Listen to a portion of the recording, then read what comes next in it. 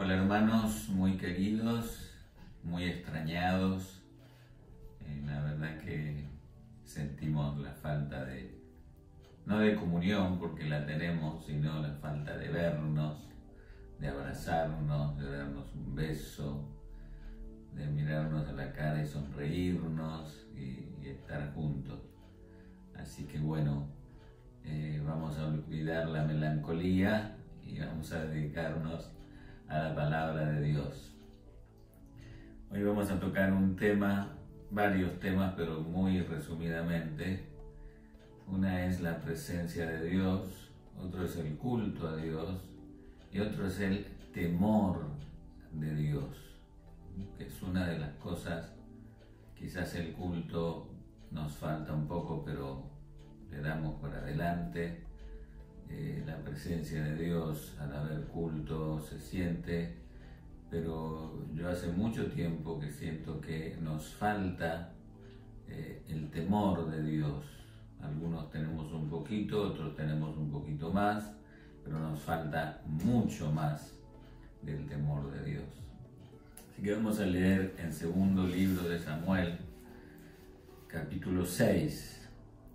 David volvió a reunir a todos los escogidos de Israel, treinta mil. Y se levantó David y partió de Baala de Judá con todo el pueblo que tenía consigo para hacer pasar el arca de Dios sobre la cual era invocado el nombre de Jehová de los ejércitos que mora entre los querubines Dios mora entre la santidad. Pusieron el arca de Dios sobre un carro nuevo, recuerde esto, sobre un carro nuevo, y la llevaron de la casa de Abinadab, que estaba en el collado, y Usa y Ahío, hijos de Abinadab, guiaban el carro nuevo. Y cuando lo llevaban de la casa de Abinadab, que estaba en el collado con el arca de Dios, ahí o iba delante del arca. Y David y toda la casa de Israel, escuche esto, danzaban delante de Jehová con toda clase de instrumentos. David era un enamorado de, de la música para Dios fabricaba, inventaba, era un luthier, inventaba y fabricaba instrumentos. Y en este momento, en esta situación, con instrumentos de madera de haya, no cualquier madera, con arpas, con salterios, con panderos, flautas y címbalos. Tome nota. Cuando llegaron a la era de Nacón, Usa extendió su mano al arca de Dios y la sostuvo. Recuerde que el arca de Dios era la presencia de Dios. Porque los bueyes tropezaban. Y el furor de Jehová se encendió contra Usa y lo hirió allí Dios por aquella temeridad, es decir, por aquella falta de temor. Y cayó allí muerto junto al arca de Dios.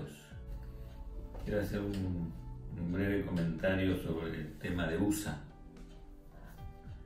que fue algo muy violento, muy complicado para nosotros, para nuestra mente.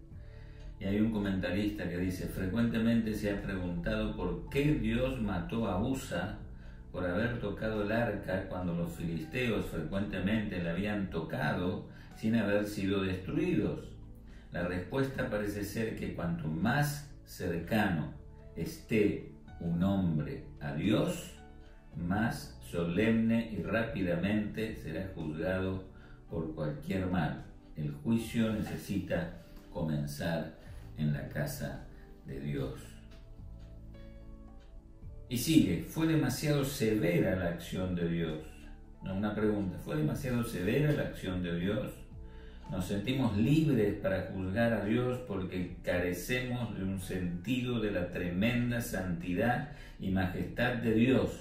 El arca era la representación visible más cercana a Dios mismo que habría, que habría hasta la venida de Jesús. Usa se descuidó de esto su muerte fue una lección perdurable para los israelitas que hay que tomar en serio la gloria de su Dios, temeridad o temor. La gloria, la presencia de Dios, hay que tomarla en serio. Demuestran nuestro lenguaje y nuestras acciones que somos sinceros cuando oramos, santificado sea tu nombre? ¿O es un verso repetido a que nos acostumbramos?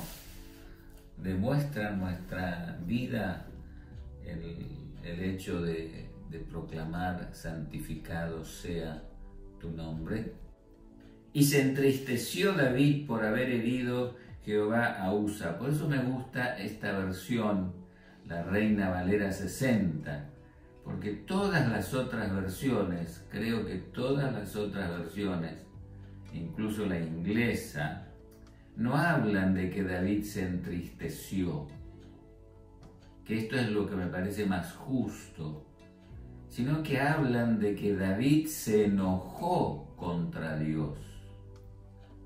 Y eso es algo un poquito fuera de, de contexto, porque David conocía a Dios, era un hombre de acuerdo al corazón de Dios. Y yo no creo que tuviera, habiendo pasado lo que pasó, la temeridad de enojarse contra Dios. Entonces la reina Valera dice, se entristeció. Y fue llamado aquel lugar Perezusa hasta hoy, y temiendo David a Jehová aquel día dijo, ¿cómo ha de venir a mí el arca de Jehová? No se enojó con Dios, se entristeció, porque dijo, ante semejante suceso, en algo fallamos. ¿Cómo va a venir a mí, a mí el arca de Jehová? Algo pasó, en algo fallamos. Nos faltó el temor de Dios. Por eso digo yo que eh, esta versión es la más, en mi opinión, por favor, es la más exacta, la más precisa en cuanto a la actitud de David. David no podía haberse enojado con Dios. David vio muchas cosas terribles que Dios hizo y jamás jamás se enojó. De modo que David no quiso traer para sí el arca de Jehová a la ciudad de David y le hizo llevar David a casa de Obededón y estuvo el arca de Jehová en casa de Obededón Geteo tres meses y bendijo Jehová a Obededón y a toda su casa. ¿Por qué lo bendijo? ¿Cuál fue la, la razón tremenda que, que, le atribuyó a Obededón la gran bendición de Dios. ¿Cuál fue? Fue la presencia de Dios. Fue el arca de Dios que representaba la presencia de Dios y teniendo la presencia de Dios en su casa, Dios lo bendijo. Cuando se enteró David de que a Jehová había bendecido la casa, es como que se relajó, estuvo tres meses llorando, clamando, buscando, Señor, ¿qué me pasó? ¿Qué pasó? Que, que pasó lo que pasó, que Usa murió de un rayo, de un, no sabemos, que Dios lo mató. El arca de Dios estaba en manos de los filisteos. Y llegó un momento que los filisteos, que era uno de los pueblos más, eh, más enojados con el pueblo de Dios, que más guerra le hacía, y eran, eran bravos, mataban, cuando mataban, mataban. Eh, me hace acordar un poco, salvando las distancias, no tiene nada que ver, pero me hace acordar un poco la matanza de San Bartolomé en París, en Francia, en el año 1500 y algo. Se casaba la reina de España con el rey francés, uno era protestante y el otro era católico, y se unieron en matrimonio con una sola idea, matar a todos los protestantes, a todos los cristianos, a todos los evangélicos. Había hugonotes, había evangélicos, había protestantes. En esa época el protestantismo era una fuerza muy, muy linda en cuanto a la vida, Dicen, dice la historia, que la mitad de Francia, en esa época, la mitad de Francia, las ciudades, no tenían un solo policía. Imagínense si se vivía bien. Casi como acá.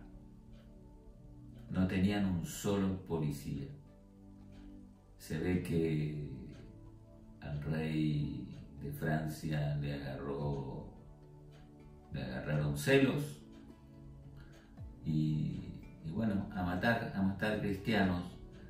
Con los hugonotes dice que fue terrible porque estaban en los cultos, en los salones, en los templos y entraban los ejércitos del rey y la gente que se sumaba con machetes, con espadas y mataban todo lo que encontraban delante. Todo, no quedaba nadie en ningún templo. Y así exterminaron a los cristianos evangélicos. Bueno, la historia ahí en Francia es mucho más larga, muy terrible, muy terrible. Pero cuando los filisteos tenían el arca, primero les fue bien, después les fue muy mal, muy mal. Eh, les salían tumores en el cuerpo, entonces se tiraban el arca unos a otros, ¿qué hacemos? ¿Qué no hacemos? Y bueno, entreguémoslo a, Israel otra vez, porque el Dios de Israel es único. Qué tremendo. Reconocieron que como Dios no hay otro. Y cuando llegaron a la era de Nacón, Usa extendió su mano al arca de Dios y la sostuvo, porque los bueyes tropezaban y el furor de Jehová se encendió contra Usa y lo, lo hirió allí Dios por aquella temeridad y cayó allí muerto junto al arca. Es interesante que a veces no entendemos lo que significa culto a Dios. Y eso que estaba David allí. El culto a Dios en la carne no se da, no sirve, no sube. Y a Dios no le agrada, Dios se enoja.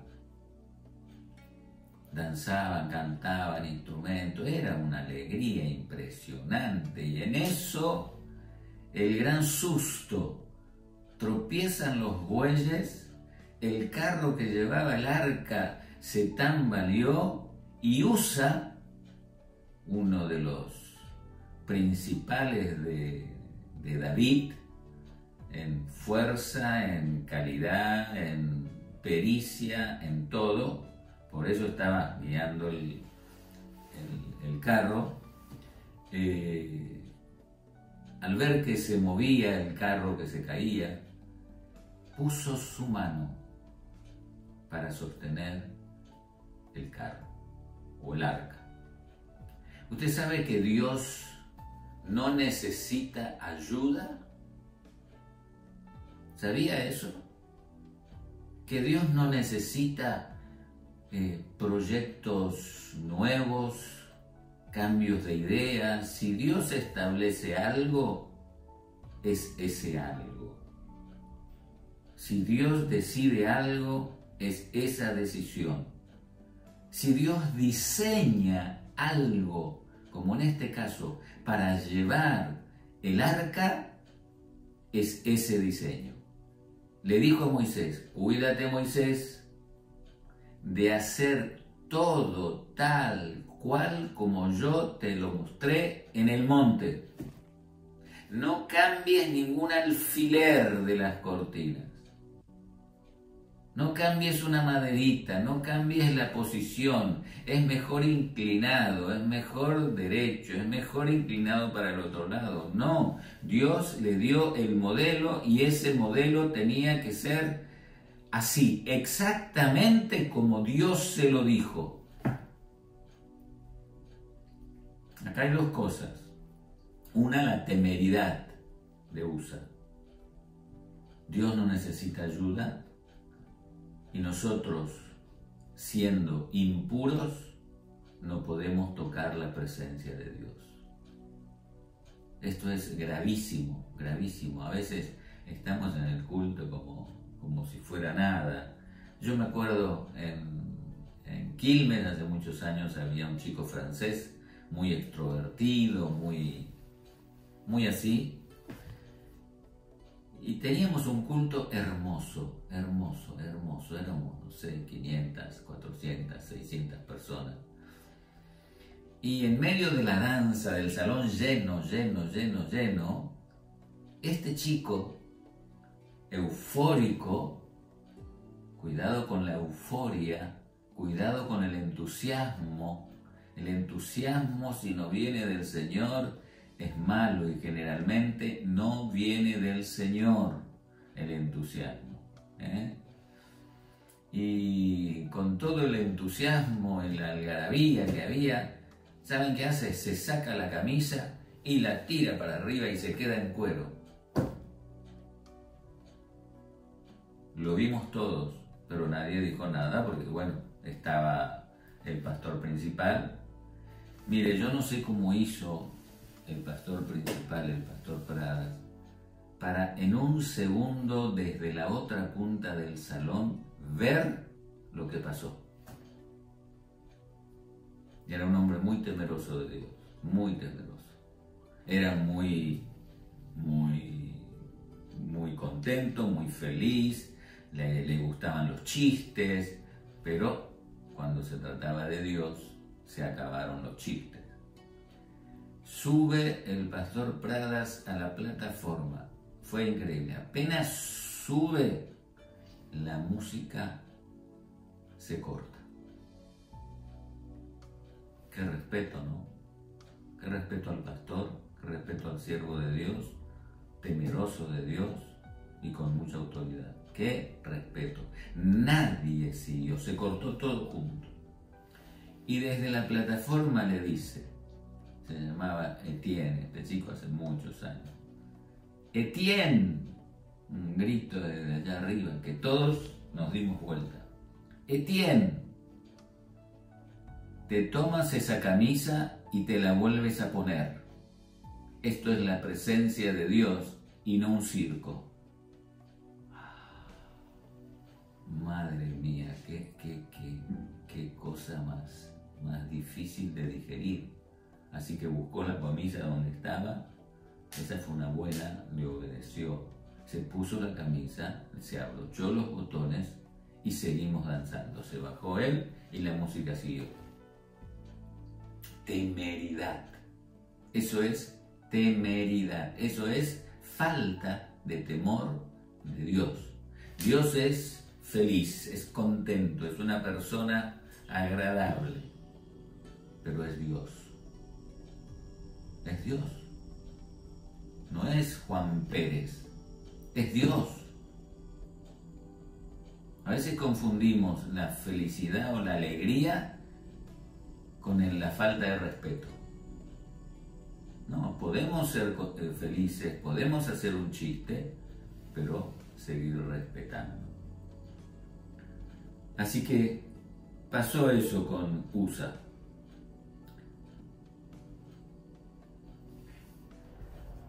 Y dice la Biblia que llegan a la era de Nacón. Llegaron a la era. La era, usted sabe que es un lugar donde se separa el trigo de, de la cascarita, ahora no sale la, palabra, el trigo de la paja. Eh, si es en Cuba, se separa el grano de la cáscara de café, o sea, se separa lo bueno de lo que nos sirve. En este caso, se separa lo espiritual de lo material. Guaymaní dijo, cuando lleguemos al cielo, no va a entrar nada que no sea Cristo. La carne no entra al cielo, no entra, no hay jolgorio y, y yo no, no, no, hay canto, alabanza y adoración santas a Dios. Y temiendo David a Jehová aquel día, dijo, ¿cómo ha de venir a mí el arca de Jehová? De modo que David no quiso traer para sí el arca de Jehová a la ciudad de David, y la hizo llevar David a la casa de Obededom. Y estuvo el arca de Jehová en casa de Obededom, que tengo tres meses. Y bendijo Jehová a Obededom y a toda su casa. ¿Quién era Obededom? Casi un desconocido y Dios lo bendijo en abundancia. ¿Por qué? Porque estaba la presencia de Dios. Siempre me acuerdo, no sé si es exacta la aplicación que hago, pero cuando muere Lázaro, Marta y María le dicen exactamente lo mismo a Jesús. Las dos le dicen lo mismo. Ya estaba muerto Lázaro, y le dicen, separadamente, cada una por su lado, le dice, Jesús, si hubieses estado aquí, Lázaro no hubiese muerto. Qué tremendo. ¿Qué quiere decir? Jesús, si tu presencia hubiese estado con nosotros, Lázaro no hubiese muerto. No apeló al milagro ni María ni Marta, apelaron a la presencia de Jesús en su casa. Eso es lo que vale. El milagro no vale, lo que vale es Jesús.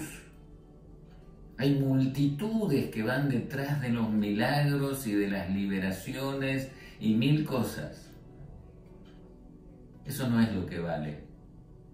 Hay que ir detrás de Jesús. Porque lo demás nos distrae la atención de Jesús. En cambio, si vamos detrás de Jesús, nada nos distrae. Esto es serio lo que digo, no es una tontería. Eh, no vayamos detrás de los milagros, vayamos detrás de Jesús. Jesús dijo, y los milagros seguirán a los que creen. ¿Qué quiere decir seguir? ¿Ir adelante? No, ir atrás. Simple.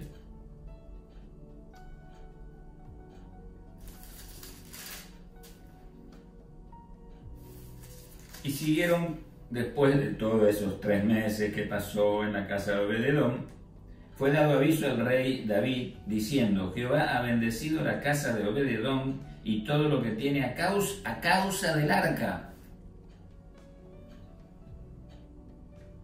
Entonces David fue y llevó con alegría el arca de Dios a la casa de Obededón, de casa de Obededón, perdón, a la ciudad de David. Y cuando los que llevaban, escuche esto, esto es muy importante, y cuando llevaban el arca de Dios, habían andado seis pasos y David sacrificó un buey y un carnero engordado. Seis pasos dio la procesión. Es interesante que lo dice. No es que lo ignora y no pasa nada.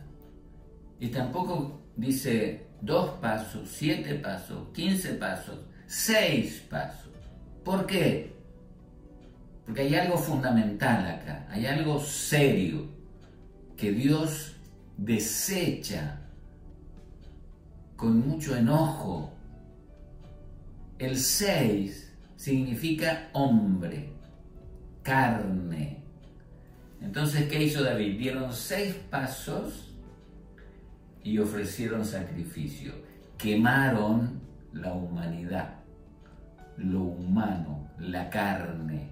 La carne es para quemar y comerse un buen asado. Pero acá quemaron la carne. Seis pasos. Hermano, esto es serio. Seis pasos. David sabía, aprendió David con lo que le pasó atrás. Dijo David, mmm, mucha carne. Hice un diseño que no lo mandó Dios. Eso es carne. Diseñé un carro hermoso, la verdad que sería de lujo, pero no era de Dios.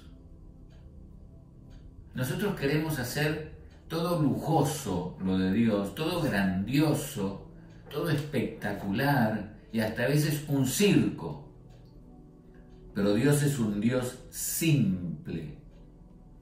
Dios es un Dios simple.